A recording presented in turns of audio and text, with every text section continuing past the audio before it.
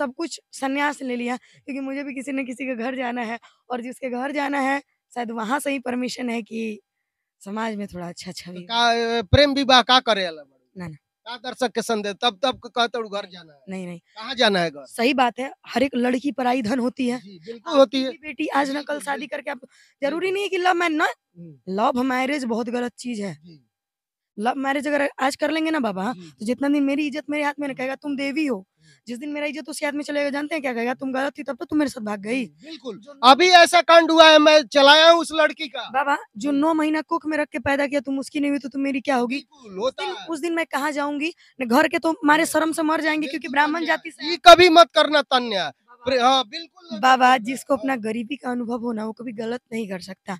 मेरे माँ बाप तो जीते जी मर जाएँगे ससुराल भी नहीं अपनाएगा कुत्ते वाली हाल हो जाएगी। हाँ, अगर मेरे पापा मेरी शादी कराएँगे चाहे मेरे मामा ना हाँ, तो रोड पे भीख भी मांग रहा होगा ना तो हम उससे झगड़ा करके अपने घर आ पाएँगे। ठीक है? कि हमको नहीं खाने को मिल रहा है हमको अपने घर में रखिए। उससे हम झगड़ा लड़ाई करके अपने घर आ सकते हैं लेकिन लव मैरिज करके हम नहीं आ सकते। तो हम कुछ दिन के जवानी को। मतलब ये करने के लिए हम क्यों अपने आप को बर्बाद करें कौनो कहते ना इतना हमरे के ज़्यादा चढ़ल बा गर्मी। ना, जिसको अपने गरीबी पे याद है गरीब की हम कैसे जिए हैं वो इंसान कभी गलत नहीं कर सकता। इतना भी हम धाधा नहीं रहे हैं। आज से पाँच साल बाद हम शादी करेंगे 2027 में शादी करेंगे और मेरे मामा जहाँ कराएँगे मैं वही करूँगी। क्योंकि आज तक बचपन से उन, उनका बहुत एहसान रहा है मेरे ऊपर और मेरे मामा को और मेरी मासी को मेरे मम्मी को मेरी नानी नानी सॉरी नहीं रही माँ।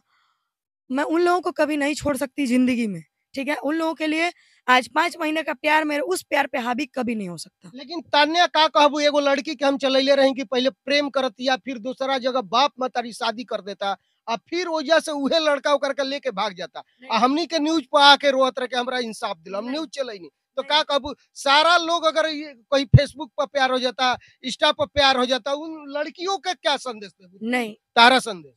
नहीं सबसे पहली बात मैं बता दूँ बाबू आप लोग जितने भी इस दुनिया में प्यार करती हैं आपका प्यार 18 साल 20 साल के प्यार पे हावी हो गया जी।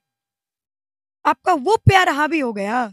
जो नौ महीना कोख में रख के दर्द, तकलीफ़, पत्थर, आंधी, बारिश, दर्द को सह करके हॉस्पिटल में सौ बिच्छू डंक मारता है, उतना दर्द होता है। प्राण निकलने में जितना दर्द नहीं होता, उतना एक बच्चे को जन्म देने में दर्द होता है। इतनी को से पोस्ट पाल के लैट्रिन बाथरूम, तेल, कूड़ लगा करके इतना बड़ा जवान बना देती है उन्नीस साल का, अठारह साल का।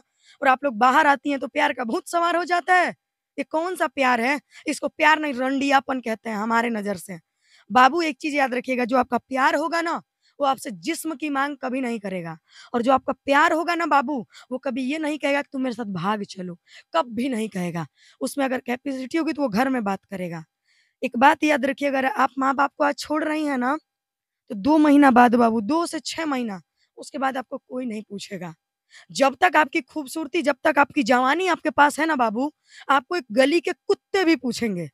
लेकिन ये उम्र और ये जवानी जब ढल जाएगी ना तो वही पूछेगा जो नोम सिंदूर डाल करके मांग में समाज के सामने आपको अपने घर लेकर के जाएगा। तो प्यार व्यार कुछ नहीं होता मेरा बेटा, मेरा बच्चा लोग। प्यार व्यार कुछ नहीं होता। हाँ शादी करके जाइएगा ना, दो महीना बाद प्यार हो जाएगा।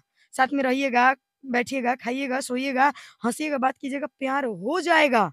लेकिन वो प्यार आपको ज़िंदगी में कभी नहीं छोड़ सकता। आपकी बुढ़ापा भी ढल जाएगी ना। जब आप मरते भी रहिएगा ना तो वो हॉस्पिटल में लेकर के आपको दौड़ेगा। और आजकल का प्यार है। मर भी जाइएगा, ना तो कहेगा, मर जाओ, हमको क्या फ़र्क पड़ता है? क्योंकि उसके पास आप जैसी पचास हैं, आपको ये चीज़ नहीं पता है।